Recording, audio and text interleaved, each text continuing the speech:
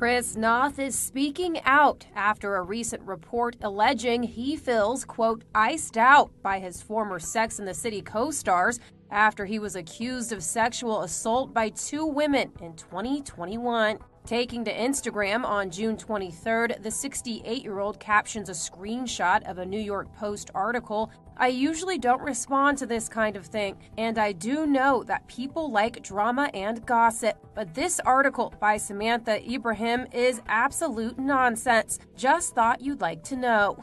Following the original allegations, actress Zoe Lister Jones spoke out about the And Just Like That alum. In a December 21st Instagram post, Zoe, who said she worked at a club owned by Chris in her early 20s, accused the actor of being, quote, consistently sexually inappropriate with a fellow female promoter, and further alleged he was, quote, drunk on set when she guest starred on Law and Order. Days later, Heather Kristin, a former Sex and the City stand in, also named Chris as the unnamed alpha male actor she previously wrote about in a February 2021 essay, whom she said, quote, manhandled her and exhibited, quote, toxic behavior on set.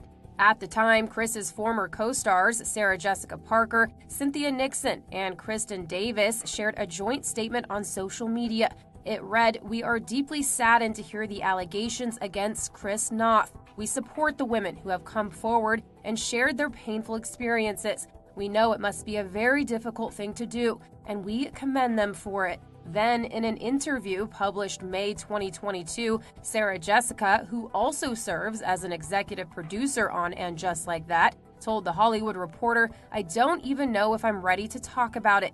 When asked if she's spoken to her former on screen spouse, she simply replied no. In a statement to E! News in December 2021, Chris said, The accusations against me made by individuals I met years, even decades ago, are categorically false. These stories could have been from 30 years ago or 30 days ago. No always means no. That is a line I did not cross. The encounters were consensual. It's difficult not to question the timing of these stories coming out.